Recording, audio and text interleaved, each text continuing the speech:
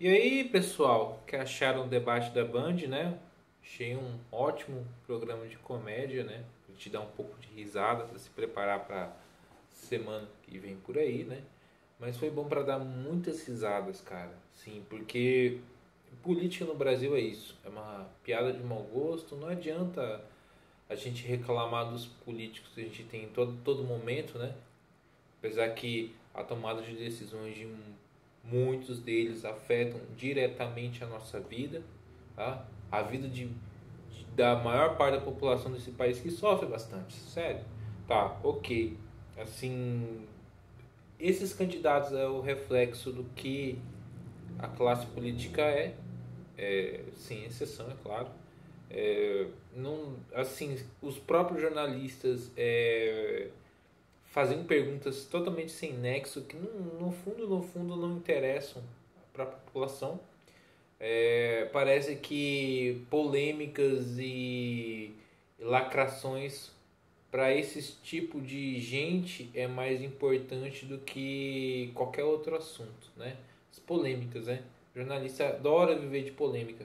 E quanto mais tempo passa, mais eu tenho nojo e asco tipo de gente, sabe? Esse, esse tipo de pessoa que gosta de criar polêmicas vazias por coisas que não deveriam ter tanta atenção. Os candidatos, as, a, sempre sobrava assim, aquele Felipe Dávila sem comentários, né?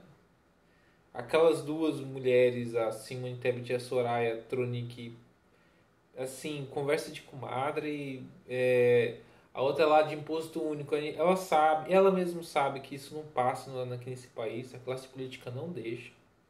É mais fácil aumentar imposto do que diminuir imposto nesse país. Sabe? Muitas coisas ali, sem contar o Lula e o Ciro, o próprio Bolsonaro também. É, você sabe que aquilo ali, no discurso, é muito bonito. Para conquistar o eleitor vale tudo, cara. Vale, vale, vale o discurso mais elo, eloquente, você falar os, aquelas palavras gatilhos, né? E para conquistar o eleitor vale tudo. Vale, vale esse, discurso bonito, é, que na prática não acontece, sabe? Então, eu já eu, meio que eu já esperava por isso. A mulher fala lá que ah não, é, tem que ter um imposto único. Depois, depois antes ela falou não que teria que presentear os alunos é, quando terminasse o ensino médio com 5 mil reais. Esses 5 mil reais vinham da onde? Sabe? A, a outra não, aí depois teve outra para ah, porque ele não, o Bolsonaro entrou de, de moto no hospital, tipo assim. Tá que algumas coisas do Bolsonaro eu não concordo. Eu deixei, larguei de mão essa militância bolsonarista, sim, por muitas coisas que eu não não não não aprovo.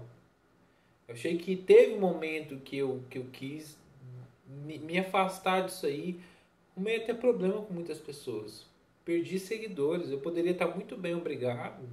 Inclusive, aqui no YouTube, ainda me mantendo no bolsonarismo e capitalizando com isso. Não, eu só perdi. Não estou reclamando.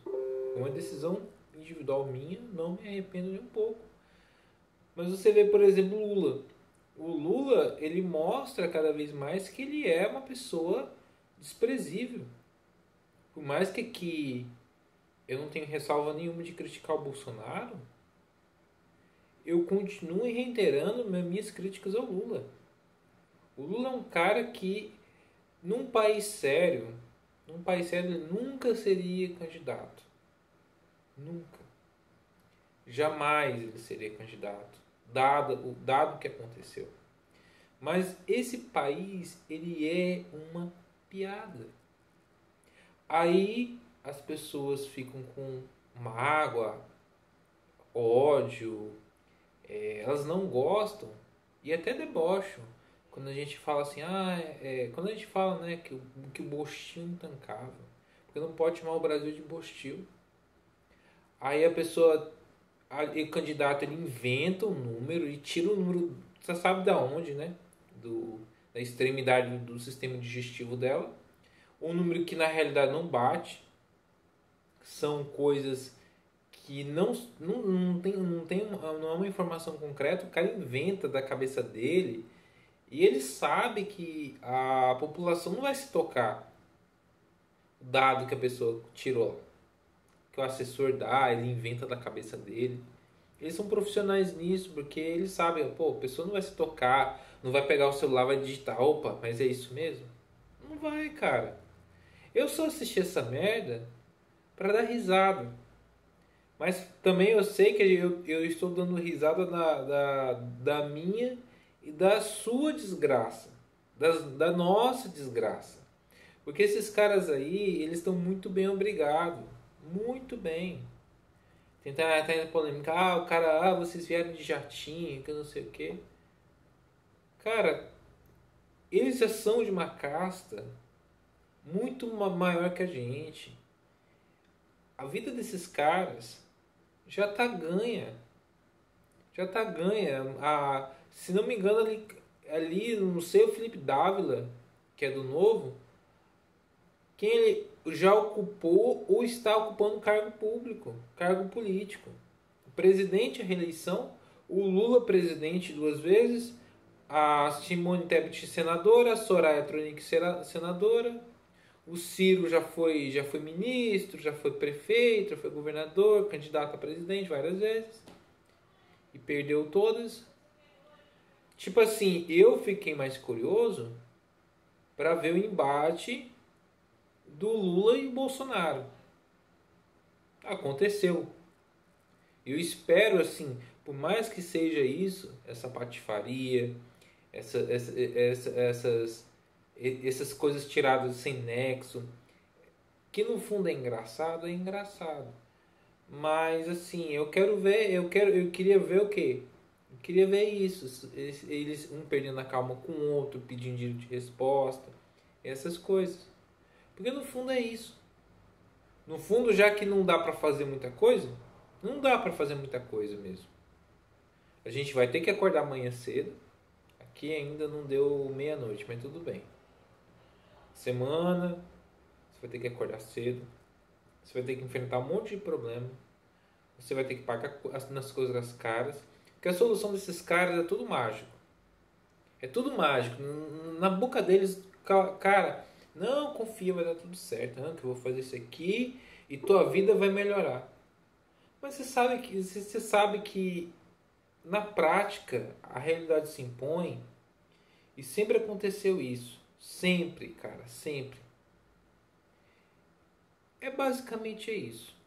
Não tem muito a acrescentar, porque eu não vou ficar aqui falando do, do, dos pontos de cada candidato para o vídeo não ficar extenso. Basicamente, ah, não, os, quando não era nem o Bolsonaro, nem o Lula, nem o Ciro, os outros não agregavam em nada, só falar besteira, falar coisa ali para para impressionar tipo um, uma minoria de uma minoria de uma minoria. Basicamente é isso. Sua vida vai continuar é, estando na, nas tuas mãos.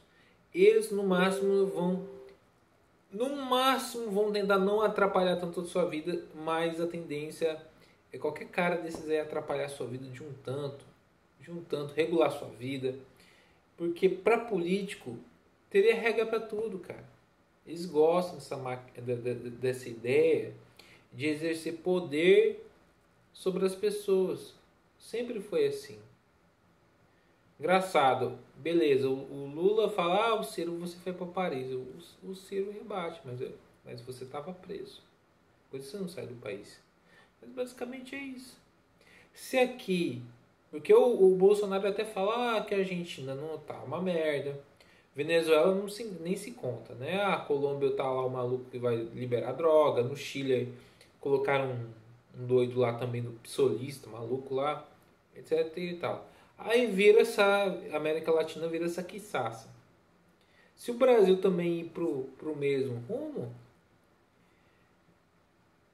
a família dessa gente está garantida, tá garantida, a boa vida deles, de, de, de um grupo seleto de empresários eles mesmos eles vão poder ir a hora que eles quiserem para a Europa, para os Estados Unidos. vive uma vida tranquila. Agora, se aqui virar. Porque tem aquele medo, né? Porque o Bolsonaro ele fala assim: ah, aqui vai virar. Tipo assim, se ele perder, aqui vira um, um The Walking Dead instantâneo. E o Lula não, o Lula, o Ciro, não, aqui tá uma. Já é o The Walking Dead, que tal, que as pessoas tão, não tem nada e tal. O Lula sempre usando esse, esse, essa questão emotiva, né? Porque no fundo eles fazem isso mesmo. Mas é isso, né, cara? Quem sou eu, né, para tentar é, é, tentar colocar é, questão tipo assim da lição de moral tanto em nesses caras como na militância mais militância mais apaixonada, né? Eu estou aqui dando minha opinião. É bom para dar risada, é bom para se divertir, é um stand-up de domingo à noite, né? Foi um stand-up de domingo à noite chamado debate. Para dar risada, no fundo não ajuda em nada, só é blá blá blá blá blá blá blá blá blá, eu tenho a solução, você é malvado, você roubou, que o Brasil passa fome, ah não, o que eu fiz é isso. Parabéns, né? Parabéns, agregou muito às nossas vidas. E, então eu vou ficando por aqui e até o próximo vídeo, se Deus quiser.